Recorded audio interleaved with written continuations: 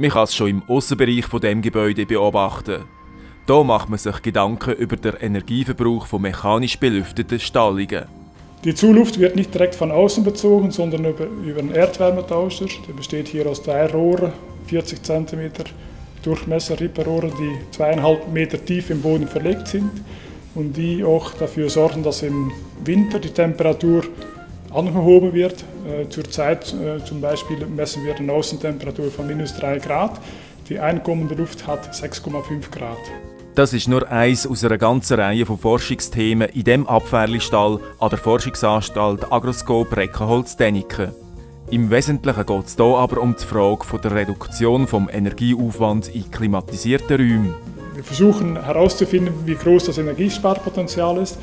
Dazu haben wir jetzt einen Versuch, der läuft in zwei Kammern. Der Fokus liegt dabei auf der Beheizung der Fährlinest, der Lüftertechnologie und der Regelung der Luftrate oder anders ausgedrückt dem Luftaustausch.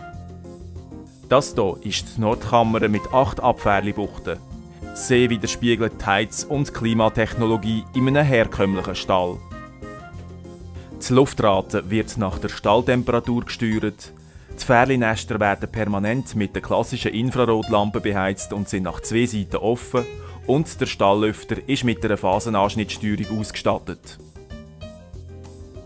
Die Südkammer, wo während unserem Besuch nach dem Absetzen gerade leer steht, ist energetisch optimiert worden. Die Fährlinester sind hier auf allen Seiten isoliert.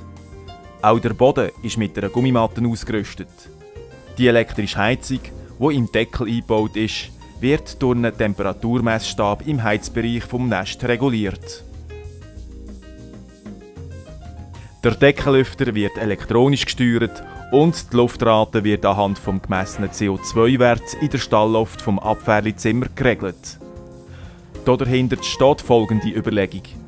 Wir messen kontinuierlich die CO2-Konzentration, die in Abhängigkeit ist der äh, Aktivität der Tiere und des Tierbestandes. Wird die CO2-Konzentration höher, dann geht der Lüfter hoch, geht, wird die Luftrate höher.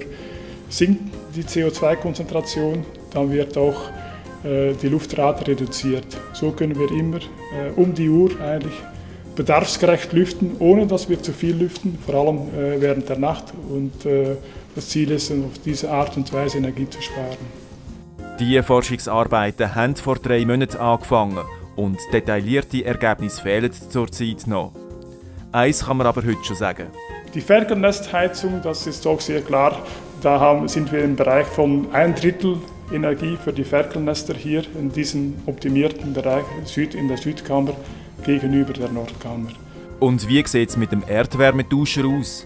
Klassische Erdwärmetauscher mit Tripperrohren, wie wir hier haben, unter das verlegt, heutzutage mit den heutigen Energiepreisen sich nicht zurückzahlen lässt. Allein nur durch Reduktion der Energie, äh, des Energiebedarfs.